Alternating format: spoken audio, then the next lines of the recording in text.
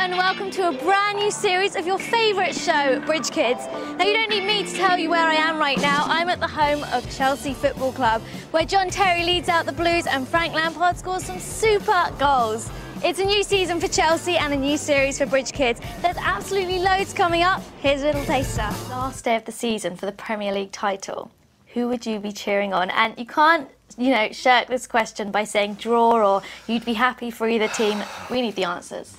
Approximately 37,000 runners are set to pound the 26.2 miles that is the Virgin London Marathon 2012. I'm Emma here for OK Online to catch up with some of the brave celebrities taking on the challenge of a lifetime. Having been a sufferer yourself, what an amazing achievement to then go on and run the marathon. Yeah, well, if you think about it, it's my birthday today, and, oh, and about uh, thank you.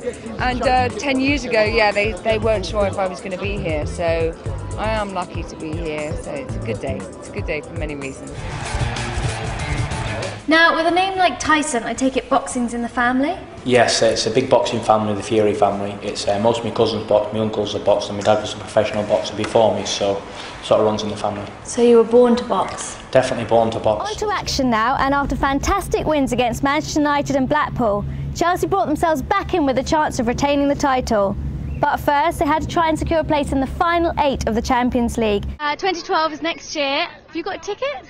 I haven't yet, no. I was kind of resting on my laurels thinking I could blag some free ones, but I've not tried yet. Any but specific events you'd like to see? Well, I've actually heard now that ex-Olympians were entitled to two tickets for any event we competed in. So I competed in the 400 and the 4x4, so I'm hoping that's four tickets.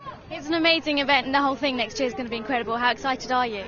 I'm just, I'm excited but also jealous. I wish I was uh, as young as the boys behind me. I wish I was like 15 years younger because to be, to be able to compete at an Olympics in, in your own country would be brilliant. Now don't forget to vote for your favourite on the Bridge Kids website and find us at a home game next month for your chance to be involved. Now sadly, that's the end of this month's Bridge Kids. But don't worry, we'll be back. From me and Stamford, we're going to head to that pitch right now. Bye!